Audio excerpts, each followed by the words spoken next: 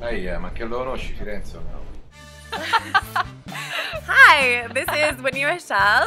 And Paige. And Paige is the intern at Dot Florence, and we are here to present the second edition of Conosci Firenze. For those of you who don't know what Conosci Firenze is, it's a photo contest, and you have to guess where Marco took this photo.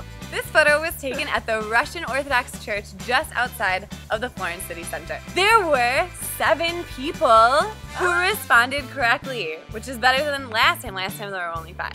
Number one is Andrea Trapani.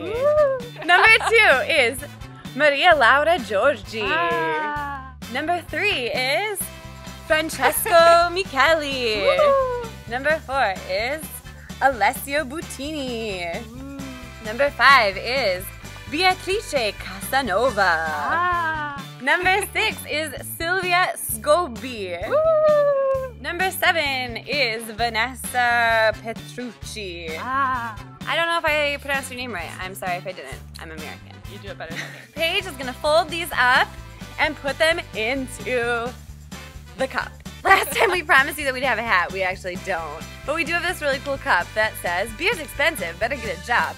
Or if you can't get a job, you can just participate in our photo contest. And win free meals. Yes. That's probably even better than having a job, actually.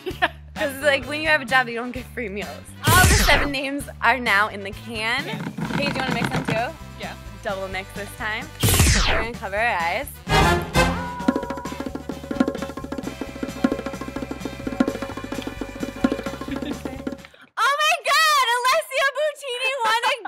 God! Alessio Butini won again. You really know Florence.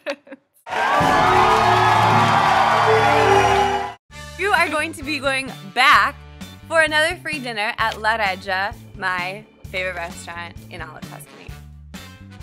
You are a really lucky guy, Alessio Butini. Stay tuned for version 3 of Conosci Firenze.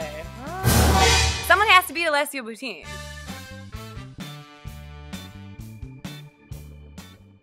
Lei, eh, ma che lo conosci Firenze o no?